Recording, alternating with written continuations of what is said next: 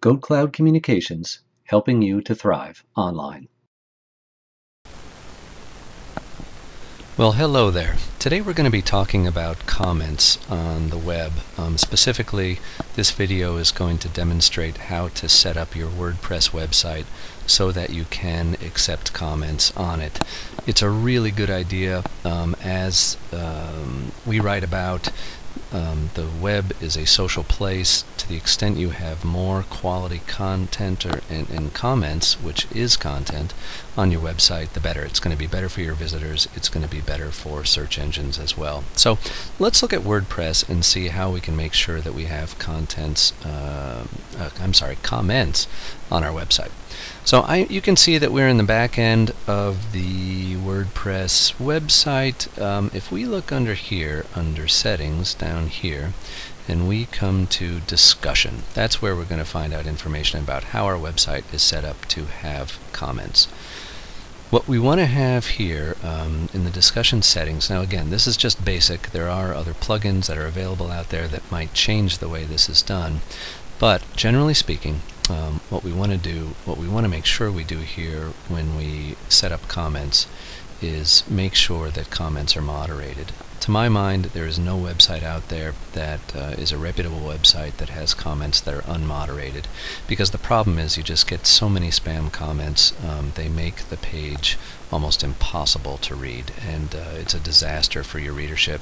So make sure that you are moderating comments. So I tend to make sure that uh, comments must be manually approved. That means a real life human is going to have to read them before they get posted.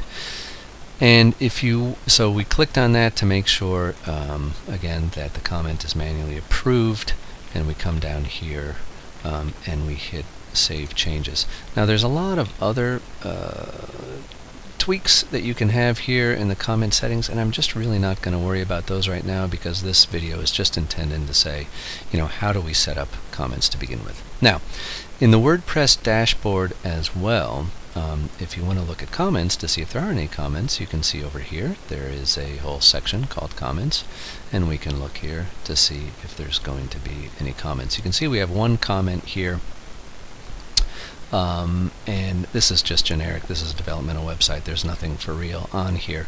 But I want you to take a look up here too because you can see spam comments.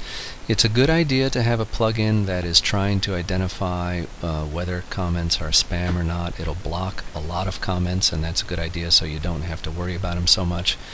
Akismet, A-K-I-S-M-E-T, is a decent plugin. Anti-spam is another one, but just look in the WordPress plugin repository and you'll find some good spam, anti-spam, uh, anti-spam comment uh, plugins available for you. So what's it going to look like on a page? Well, let's take a look at um, posts. If we look at posts here, um, we can see all the posts. We're going to come down to that Hello World one. And let's actually take a look at this particular post. I'm going to right click it and say view. We're going to open that in a new tab and we're going to see what it looks like. Comments most typically will appear at the bottom of the blog post. Now you can also have comments on pages if you want to. My most of the websites I design tend not to have comments on WordPress pages because those are usually static pages. They don't change a whole lot. They're for a business. They're giving out things like uh, contact information or a mission statement, uh, services description, etc. Typically businesses, nonprofits don't really want comments there, but on blog posts that's a great place where people want to comment. So you can see there's one comment. This is just generic. It comes with the WordPress package. And then you can see down here too, it says leave a, leave a reply. And somebody can type in a comment and we can say this is a test comment. And what happens is they'll post it. Now when that happens, um, uh, we should get a message. Oh, there it's, you know, this says it's there now we'll go back to the posts. I'm sorry, we want to come back down here to comments. And let's see if it's there. Now I, will tell you, the reason why that was automatically allowed, we can see this is allowed, is because I'm logged in, and this is a comment from me. But if you were to come to this website and try to leave a comment, it's going to show up in here in the pending category. Right now there aren't any. Again, this is not really a live web. Well, it's a live website, but nobody is posting to it. It's just developmental to play around. So um, that's how you leave it. Now, Jetpack is a, another plugin that allows you to modify um, comments on your WordPress website. You can change this uh, so it's something a little bit more enticing. Um, it, you can change how comments are presented, etc. But generally speaking, it's a good idea to allow comments because, again, it's going to provide additional content for your website. That's a good thing. Um, you always want to respond to these comments because it shows that you're a real live person that's out there. Um, they can really be an effective way to generate enthusiasm about your website and traffic to your website. Now, one thing I wanted to say here too is if you change your mind about comments, let's go back to posts. We're going to go to all posts.